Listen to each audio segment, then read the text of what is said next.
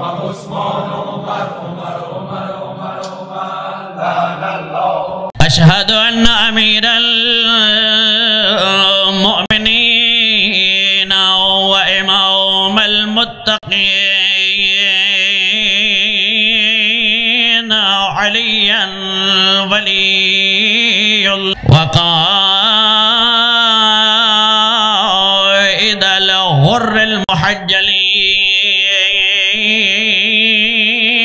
أشهد أن أبا بكر وعمر وعثمان وعثمان وعائشة وحفصة وعائشة وحفصة في النار শিয়া তারা নিজেকে মুসলিম বলে দাবি করে এবং তারা নিজেরা নিজেদেরকে মুসলমান মনে করে কিন্তু আমরা যদি তাদের আকিদা বিশ্বাস এবং মানহাদির দিক তাকিয়ে দেখি তাহলে দেখি আহ, তাদের মধ্যে এমন কিছু ভ্রান্ত আকিদা রয়েছে যে আকিদার সাথে ইসলামের কোনো সম্পর্ক নেই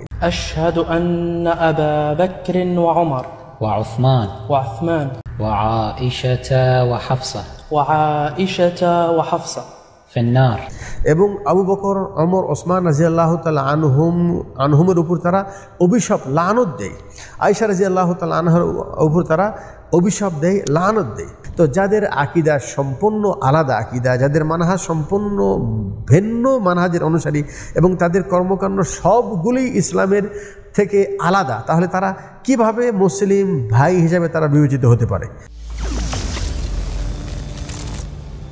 আত্মাহারিক টিভি অহির আলোই উদ্ভাসিত জীবনের জন্য। আসসালামু আলাইকুম রহমতুল্লাহ বরকাত আলহামদুলিল্লাহ সালাতু আসসালাম রসুলিল্লাহ আমাবাদ জি সম্মানিত উস্তাদ আমার একটা প্রশ্ন ছিল। আমি জানতে চাচ্ছি শিয়াদের সম্পর্কে। তারা কি আসলেও আমাদের ভাই কিনা? আর তাদের আকিদা মানা সম্পর্কে আমি একটু ক্লিয়ার হতে চাচ্ছি। জাজাক আল্লাহের উস্তাদ। ওয়ালাইকুম সালাম ওরহমতুল্লাহি ওবরকাত আলহামদুলিল্লাহ ওসালাত ওসালাম আলা রসুলিল্লাহ আম্মাবাদ ধন্যবাদ অত্যন্ত গুরুত্বপূর্ণ প্রশ্ন। শিয়া সম্প্রদায়, এদের আকিদা কি, মানহাজ কি, এরা কি মুসলমানদের অন্তর্ভুক্ত কিনা? এ বিষয়ে খুব সংক্ষিপ্ত আকারে বলব। সেটা হলেই, শিয়া তারা নিজেকে মুসলিম বলে দাবি করে এবং তারা নিজেরা নিজেদেরকে মুসলমান মনে করে।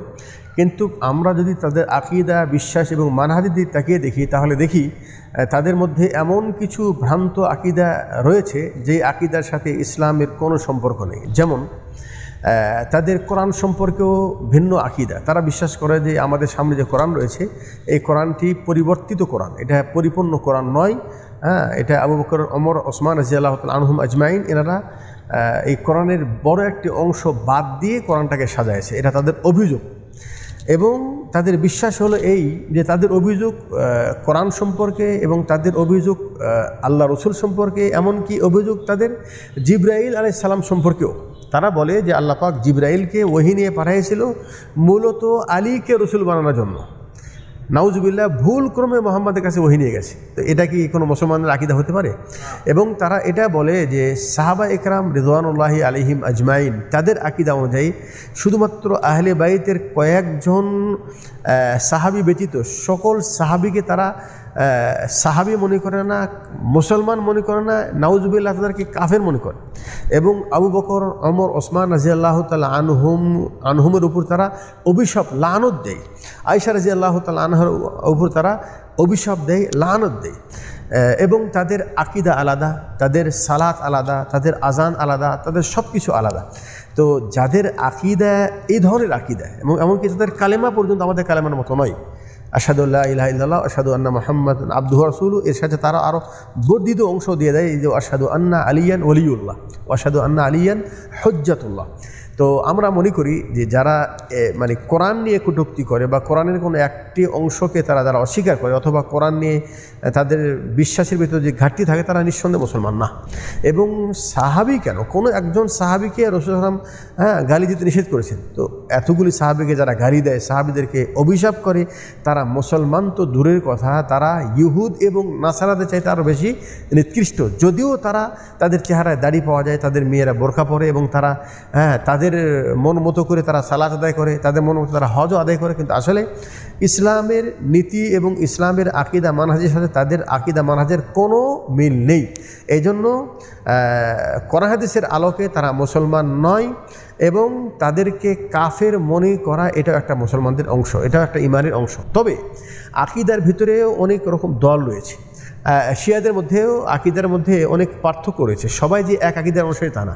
অধিকাংশ শিয়া যেটা আকিদা রাখে, যেটা আমি বললাম, কোরআন নিয়ে তাদের ভ্রান্ত আকিদা আছে, সাহাবিদের সম্পর্কে তাদের ভ্রান্ত আকিদা আছে এবং তারা আহলে বাইতকে মানে প্রাধান্য দিতে যে অন্যান্য সাহাবিদেরকেও তারা যেমন গালিগালাজ করে এবং তারা আমাদের সামনে যে হাদিসের বইগুলো রয়েছে বা হাদিস রয়েছে কোনো হাদিসকে তারা গ্রহণ করে না।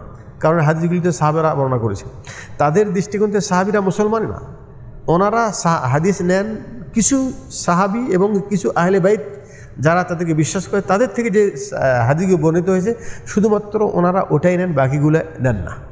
হ্যাঁ এবং সবচাইতে দুঃখের বিষয় যে মানে তিনজন এই উম্মতে মুসলিমার শ্রেষ্ঠতম উম্মত, শ্রেষ্ঠতম মুসলমান, আবু বকর সিদ্দিক রাজিয়াল অমর ফারুক রাজিয়াল আল্লাহ পাক তাদেরকে শরফ এই মানে তাদেরকে আল্লাপাক এই মর্যাদা দিয়েছেন যে ওনারা জীবন দশাতেও রসুল সালামের সাহাবি ছিলেন, সঙ্গী ছিলেন, মৃত্যুর পরেও আল্লাহ রব্বুল আলমিন ওনাদের কবরকে রসুলের কবর পাশে রাখছেন। আর এই আকিদা, এই শিয়াদের বিশ্বাস তারা হলে যে তারা মনে করে যে সৌদি আরব এর উপর যদি কারও কোনো দিন সরকার যদি তারা প্রতিষ্ঠা করতে পারে, তাহলে নাউজবিল্লা এই দুইজন জালিলুল কদর সাহাবির লাশকে তারা সেখান থেকে বের করে বাইরে ফেলে দেবে, নাউজুবিল্লাহ।